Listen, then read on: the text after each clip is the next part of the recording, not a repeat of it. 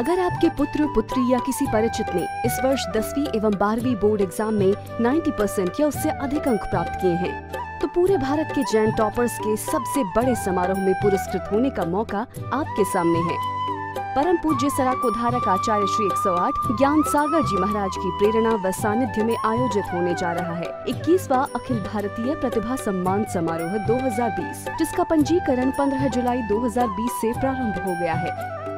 Open to all gents Digambar Shwetambar all India boards registration के लिए log in करें www.gyanpratibha.org date and venue will be informed to candidates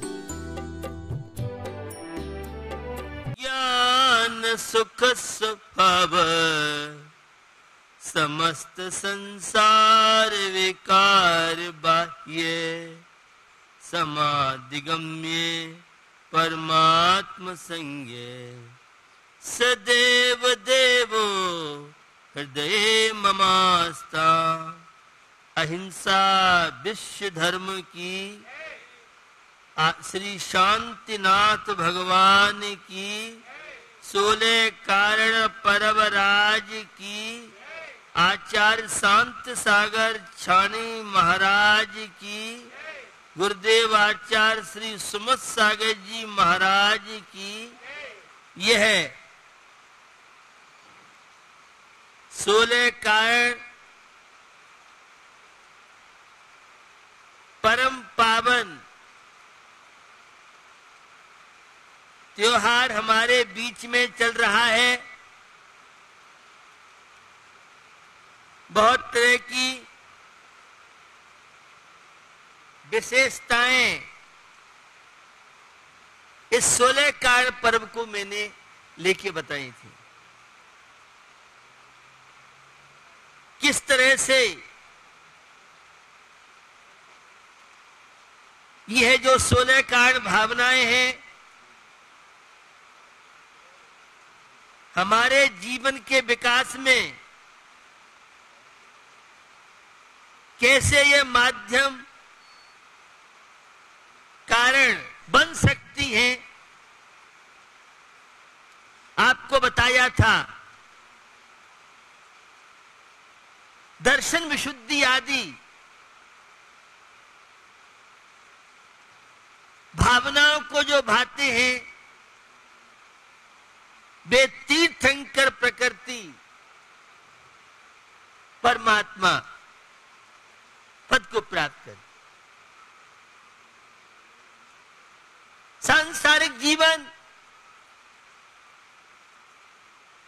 पग पग पर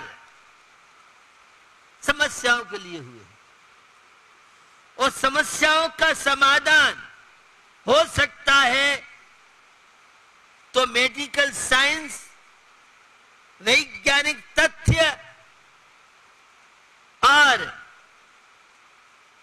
पौराणिक दृष्टि से देखें धर्म ग्रंथों की दृष्टि से देखें साहित्यकार की दृष्टि देखें तो वो कहते हैं भावनाओं की निर्मलता, परिणामों की जितनी विशुद्धि होगी, अच्छी भावनाएँ होंगी तो स्वस्थ रहोगे। अच्छी भावनाएँ पर्यावरण के लिए और हवा में ऑक्सीजन बढ़ाने के लिए भावनाओं का बड़ा प्रभाव है। तो ये सोलह कारण भावनाएँ हम सबके चित्त को जहाँ निर्मल बनाती है, विचारों को पवित्र बनाती है, पर्यावरण की शुद्धि में जहाँ और हवा में ऑक्सीजन बढ़ाने के लिए भी आपकी भावनाएँ कारण बन सकती है। दूषित भावनाएँ होंगी तो वायु में ऑक्सीजन घट सकती है और सेवा परोपकार की भावनाएँ, अहिंसक भावनाएँ, जीव दया की भावनाएँ यह पर्यावरण के सुरक्षित रखने में कारण माध्यम बन सकती हैं। बंधु, ये जो भावनाएँ हैं, जहाँ हमारे चित्त को निर्मल बनाती है वहीं हमारे चिंतन को पवित्र बनाती है।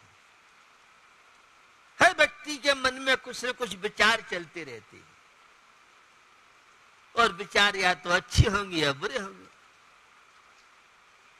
मैंने वे पंक्ति कई बार आपको और पुनः ताजी कर देता हूँ।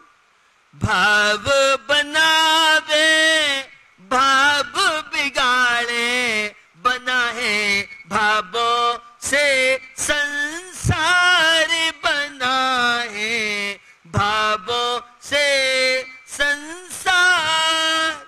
भैया, भावों का बहुत विचित्र खेल है। और कोरोना वायरस को पराजित करने के लिए आपकी भावना, आपका आचार विचार, आपका आचरण, संयमी जीवन, यह कोरोना जैसे महामारी को भी पराजित कर सकता तो ये चित्त को निर्मल बनाती है और निर्मल चित्त होगा अच्छे विचार, परमात्मा की भक्ति की भावना परोपकार की भावनाएँ, सौहार्द की भावनाएँ, समर्पण की भावनाएँ, कब होंगी? जब चिंतन आपका पवित्र होगा। और ये भावनाएँ चारित्र को उज्जवल बनाती है। सम्यक दर्शन ज्ञान चारित्र की चर्चा आप सुनते हैं तो जितनी अच्छी भावनाएँ हम भाएँगे, संयम के विचार बनेंगे, हमारा आचरण उतना पवित्र अच्छा बनेगा, और पवित्र भावनाएँ बहुत बड़ा भोजन है। कैलोरी विटामिन कल यहाँ अखिल भारत वर्षीय राष्ट्रीय महिला सम्मेलन वेबिनार हुआ। पूरे देश की क्रीम थी। अखिल भारतवर्षीय तीस क्षेत्र कमेटी एक से तीस वर्ष पुरानी संस्था की, जो राष्ट्रीय अध्यक्षा श्रीमती सरता जैन उसकी अध्यक्षता कर रही थी और सुशीला जी जो भामाशा कहलाती हैं, वे मुख्य अतिथि और भी देश के जो बहुत बड़े बड़े पदों पर रही है ऐसी महिला तो जो कोटा की महापौर रही, जिसका नर्सिंग होम में जिनका बहुत प्रभाव मुझे लोगों ने बताया तो वो बोल रही थी, मैंने वह चॉकलेट टॉफी जितने बाज़ार के वस्तुएँ नहीं खाती हूँ मैं किसी शादी, अन्य कोई सामूहिक भोजन में, पार्टियों में कोई मैं भोजन नहीं करती हूँ, मैं तो अपने घर में जो चीज़ बनाते हैं, हम उसे ही खाते हैं। कई महिलाओं ने संयुक्त परिवार में महिलाओं का योगदान कैसे राष्ट्र के उन्नति में महिलाएँ योगदान दे सकती हैं। संस्कृति के संरक्षण में ऐसे पाँच सात विषयों पर छाती प्राप्त देश की महिलाएँ और उनके वक्तव्य बड़े महत्वपूर्ण थे। अपने अपने बच्चों पर ध्यान दें, जो कई इसमें प्रायकर जितनी वक्ता महिलाएँ थी। अमरावती तो जयपुर, बॉम्बे आदि अनेकों विभिन्न स्थानों की, विभिन्न राज्यों की शीर्षस्थ महिलाओं ने विचार रखे और महिलाएँ क्या नहीं कर सकती है? महिला चाहे तो को सही बना सकती हैं, घर को नरक बना सकती हैं। तो निश्चित उस राष्ट्रीय महिला सम्मेलन के माध्यम से एक चेतना बच्चों के प्रति दायित्व, पति के प्रति ज़िम्मेदारी परिवार के प्रति ज़िम्मेदारी और किचन को चौका बनाइए कई जो विदेश में महिला गई उन्होंने बात रखी हमारी जीवनचर्या देख करके और एक डॉक्टर महिला बोल रही थी कि कई विदेश के होटलों में शाकाहारी भोजन की हमने प्रेरणा की तो विदेशी ने शाकाहारी कहा, ये तो बहुत तो कई रेस्टोरेंट में और होटलों में शाकाहारी भोजन ऐसे बहुत तरह के तथ्य रखे।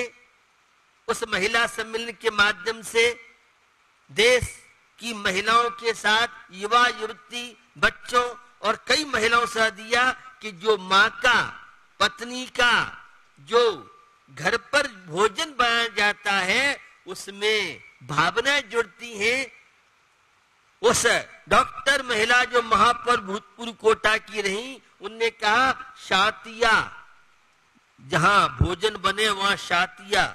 और भोजन बनाते समय प्रसन्नता के साथ चौका में प्रवेश करे, ऐसी बहुत तरह की बात बताई थी। तो नौकर नौकरानियों का कभी भी भोजन बनाया हुआ नहीं यूज़ करना चाहिए। घर में जो भोजन बनाते हैं, उसमें विचारों की पवित्रता, शुद्धि, बाज़ार के आटे का उपयोग नहीं, बाज़ार के मसालों का उपयोग नहीं। हर चीज़ घर पर तैयार कीजिए। ये कुशल डॉक्टर, वर्ल्ड की कुशल वक्ता, उन सब की बात आपको बता रहा हूँ। बाज़ार का चीज़ें पसंद न करें, घर की चीज़ें यूज़ करें तो किचन नहीं, चौका। और कई बार आपने सुना है, किचन किच किच किच किच जहाँ होती रहे। जो घर को नरक बना दे, उसका नाम किचन है, और चौका जिस घर में लगता है। मुनराज आते हैं, चौका चौका चौका। वो हमारे दिमाग में बैठता है, विचारों को पवित्र करता है। वह महकाता है हमारे विचारों को घर में शांति सुख का कारण बनता है, तनाव मुक्ति के लिए। भोजन ही आपको रोगी बनाता है, भोजन ही आपको स्वस्थ बनाता है, ऐसी बहुत तरह की कुशल महिला वक्ताओं ने बात रखी थी। तो मैं आपको बता रहा हूँ ये सोलह कारण भावनाएँ बड़ी पवित्र और आज आवश्यक परिहार नाम की भावना। आवश्यक जो ज़रूरी कार्य हैं, वे कार्य आवश्यक कहलाते हैं और जिसमें किसी प्रकार की भी हानि संभव न हो, उसे अपरिहार कार्य कहते हैं। आपकी आवश्यक कार्य तो नहाना है, नोट छापना है, बच्चों का लालन पालन करना है, फ्लैट बनाना है, किसी को बस हाई पैसा हाई पैसा। भैया, ये आवश्यक कार्य नहीं है, ये तो संसार के कार्य हमारे आचार्यों ने आवश्यक कार्यों में छह आवश्यक कार्य बताए हैं। बंधुओं, निर्वाह जो है, वह जीवन का गुजारा करने वाला है। और निर्माण जो जीवन के मूल्यों को प्राप्त कराता है, वह निर्माण कहलाता है सम्यक दृष्टि। भारतीय संस्कृति में जीने वाला वह जीवन का निर्माण करता है, धर्मात्मा जीवन निर्माण करता है, और जो निर्वाह है, वह इन किन प्रकार ने? तो भैया, हमें यह नर जीवन मिला है।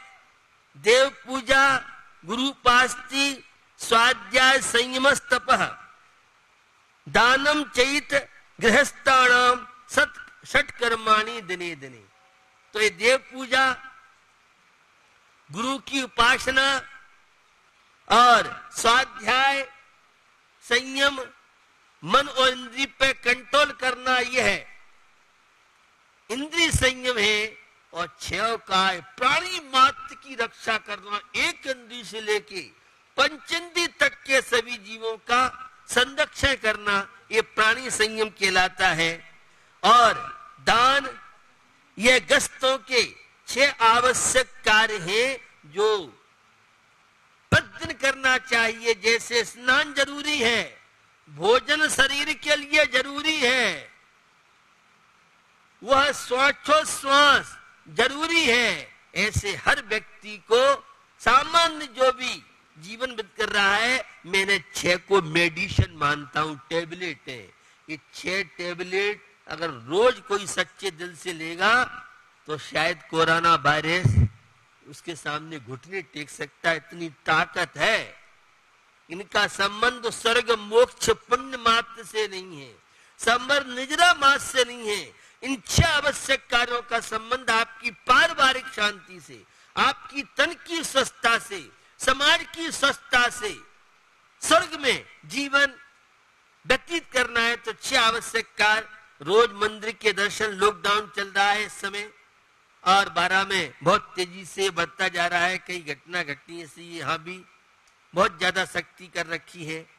तो निश्चित देव पूजा है, गुरु पास्ती जो संयमी है, ज्ञान, ध्यान, तप में लीन रहते हैं, उनके दर्शन, पूजन आदि के माध्यम से और उनकी समागम से बहुत तरह के लिए चिकित्सक डॉक्टर बोल रहे थे कि साधु समागम में जो बच्चे बच्चियाँ परिवार रहते हैं, वे बहुत बुराइयों से बचते हैं, पवित्र भावनाएँ और ऊर्जा हमें शादियों के दर्शन आदि से मिलती है तो गुरु पास्ती है और धार्मिक ग्रंथों का पठन पाठन है और संयम, मन इंद्री पे कंट्रोल कई लोग सलाह दे रहे हैं, कोरोना वायरस को पैद करना चाहते हैं तो आप संयम से रहे, अपने पुराने जो आचरण थे, उन को जीवन में अपनाए और तब इच्छाओं पे कंट्रोल करे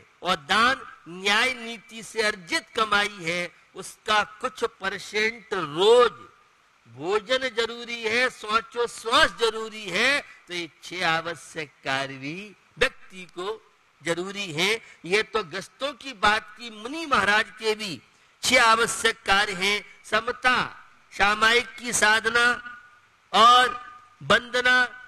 एक तीर्थंकर की स्तुति करते हैं, उन्हें वंदना कहते हैं करते हैं। और जो स्तुति है वह चौबीस तीर्थंकरों की उन्हें स्तुति बोलते हैं। और प्रतिक्रमण जो गलती हो जाती है, उसका पश्चाताप करना है प्रतिक्रमण है। और प्रत्याख्यान पापों का त्याग और कायो शरीर से मोह ममता का त्याग करना ये छह मुंदराज के आवश्यक कार्य हैं और इनके द्वारा विकास होता है। यह इन आवश्यकों से जीवन का निर्माण होता है।